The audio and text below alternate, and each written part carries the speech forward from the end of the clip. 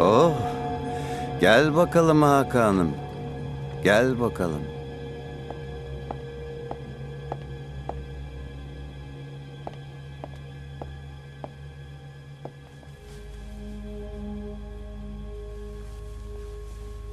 Otur.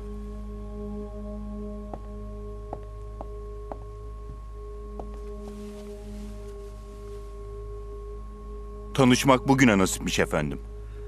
Hayatını kurtarmadığım hiç kimseyle tanışmadım da ondan Hakan. Sağ olun efendim. Size borçluyum. Emirlerinizi bekliyorum. Bundan sonra birlikte çalışacağız Hakan.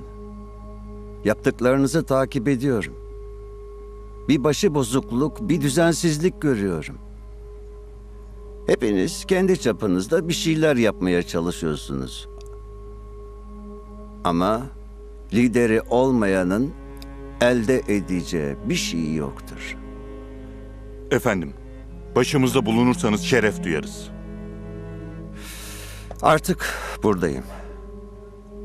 Yalnız efendim buraya gelmeden önce bir talihsizlik oldu. Her şeyden haberim var. Ben Vural'ı uyardım.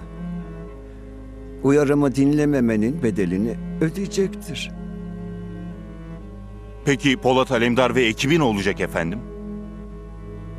Ya onun da hayatını kurtarırız ya da hayatını sonlandırırız. Benim kapım herkese açık. Elimizi öpecek herkesin alnını öperiz. Efendim siz tanımıyorsunuz.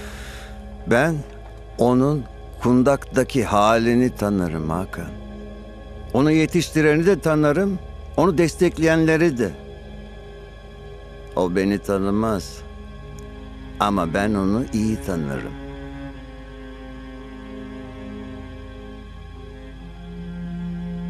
Neyse. Polat Alendar sonraki mesele. Vakit harcamayı sevmem. Gidiyoruz.